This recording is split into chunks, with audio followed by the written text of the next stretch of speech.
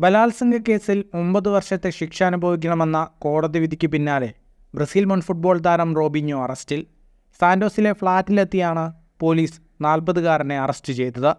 രണ്ടായിരത്തി പതിമൂന്നിൽ ഇരുപത്തിരണ്ടുകാരിയായ അൽബേനിയൻ യുവതിയെ കൂട്ടബലാത്സംഗത്തിനിരയാക്കിയെന്ന കേസിൽ പ്രതിചേർക്കപ്പെട്ട താരം കുറ്റക്കാരനാണെന്ന് രണ്ടായിരത്തി പതിനേഴിൽ ഇറ്റാലിയൻ കോടതി കണ്ടെത്തിയിരുന്നു.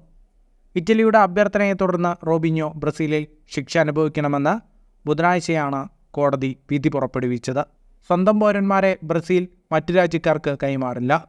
ഈ സാഹചര്യത്തിലാണ് ബ്രസീലിൽ തന്നെ തടവ് ശിക്ഷ അനുഭവിക്കുക. Spanish വമ്പന്മാരായ Real Madrid English super club Manchester City Italian club A C Milan എന്നിവയുടെ മുൻ താരമാണ് റോബിനിയോ. മിലാന്റെ താരമായിരിക്കെയാണ് കുറ്റകൃത്യത്തിൽ പങ്കാളിയാകുന്നത്.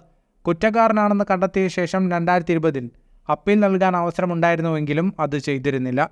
രണ്ടായിരത്തി ഇരുപത്തിരണ്ടിൽ ഇറ്റലിയിലെ പരമോന്നത കോടതി ശിക്ഷ ശരിവയ്ക്കുകയും പ്രോസിക്യൂട്ടർ രാജ്യാന്തര അറസ്റ്റ് വാറന്റ് പുറപ്പെടുവിക്കുകയും ചെയ്തു.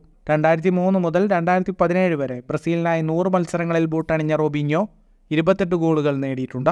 ഫുട്ബോൾ ലോകത്തെ കൂടുതൽ വാർത്തകൾക്കും വിശേഷങ്ങൾക്കുമായി സ്പോർട്സ് കഫേ ഇപ്പോൾ തന്നെ സബ്സ്ക്രൈബ് ചെയ്യുക.